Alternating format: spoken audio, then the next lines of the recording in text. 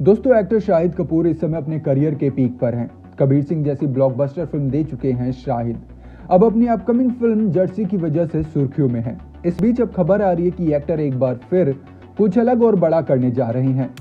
वो तीन साल बाद फिर बड़े पर्दे पर एक पीरियड फ़िल्म में नज़र आ सकते हैं। कहा जा रहा है कि शाहिद कपूर छत्रपति शिवाजी के रोल में नज़र आ सकते हैं।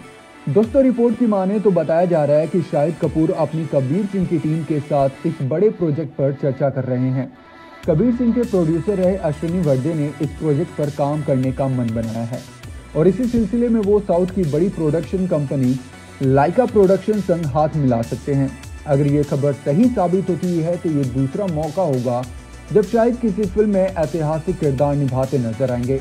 इससे पहले उन्होंने संजय लीला बंसाली की महत्वाकांक्षी फ़िल्म पद्मावत में राजा महारावल रतन सिंह का रोल अदा किया था। उस फ़िल्म के किरदार को काफ़ी पसंद किया गया था और शाहिद कपूर की एक्टिंग ने सभी का दिल जीत लिया था। दोस्तों, जब लोगों ने उन्हें बहुत पसंद किया है तो अब ऐसे में अगर वो बड़े पर्दे पर शिवाजी महाराज का रोल प्ले करते हैं तो लोगों की उम्मीदें होना लाजमी है। सभी के लिए वीर शिवाजी आस्था का प्रतीक है। और अगर उन पर फ़िल्म बनती है तो हर बारीकियों पर दर्शक की पैनी नज़र रहती है। और किसी भी तरह की गलती बर्दाश्त नहीं की जा सकती। वैसे ये पहली बार नहीं है जब कोई छत्रपति शिवाजी का रोल अदा करने पर विचार कर रहा हो।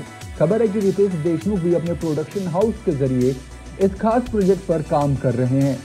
वहीं कुछ खबरें तो ऐसी भी है, जहाँ पर कहा गया है कि एक्टर सलमान खान को भी इस रोल के लिए मेकर्स की तैयारी है लेने की।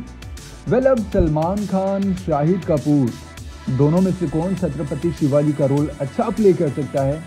और मेकर्स की सबसे पहली पसंद कौन है? ये तो आने वाले थोड़े समय में पता चल जाएगा। वेल, आपकी क्या राय है? नीचे कमेंट बॉक्स में अपनी राय दें। और देखते रहें Bollygrad studios thank you so much